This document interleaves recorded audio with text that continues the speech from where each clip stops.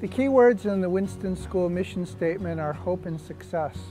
The wonderful thing about being associated with Winston is we get to work with students and their parents at a point where they are almost feeling like they're out of hope. And yet when they come and spend some time with us after a, a couple of years or sometimes even a couple of months, they feel like they're on the road to success again.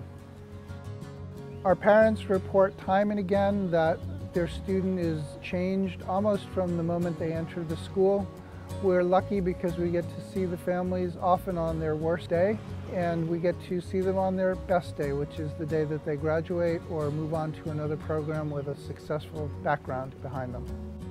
I believe that we fundamentally change kids' lives, um, not only academically, but socially, emotionally, um, and even in a sense spiritually, because they start to believe in themselves, they start to look at things in a different way and start to enjoy learning, and they build friendships for the, maybe the first time in their lives, and they come here with a smile on their face.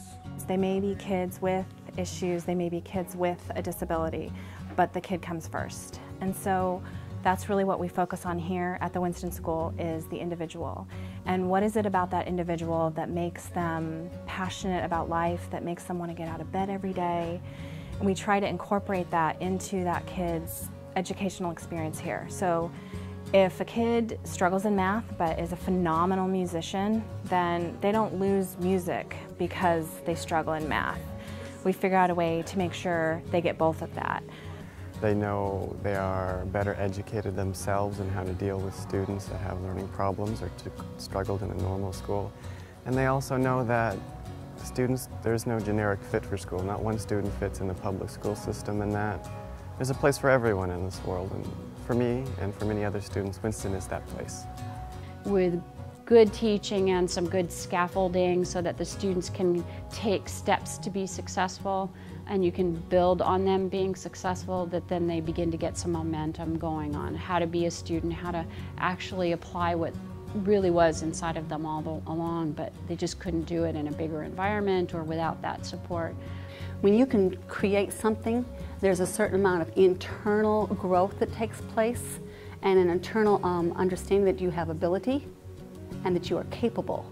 And if you are, have ability and are capable, that translates to learning something that maybe is a little more scary to you and makes you a, a better learner. It's one of the elements of learning. I realized that the struggle of academics has a big impact on one's self-confidence and the way my daughter has turned around is it's amazing. So yeah, we're out here today. We just finished up a great game here. It's actually our second to last game of the season. Um, our sports program at Winston has existed now, I think, about 13 years. We play both basketball and softball, and it's just an amazing opportunity to get the kids out of school for a few hours, build up sportsmanship and camaraderie between you know different students, and especially in different grades and it gives them a great opportunity just to get some energy out as well, you know, to be able to move around and run, get the endorphins going, and, and just have a good time out, meet some kids from other schools, and it's a, it's a great time. Well, the thing I, I, think that's really unique about Winston is number one, uh, the diversity that we have in our student body.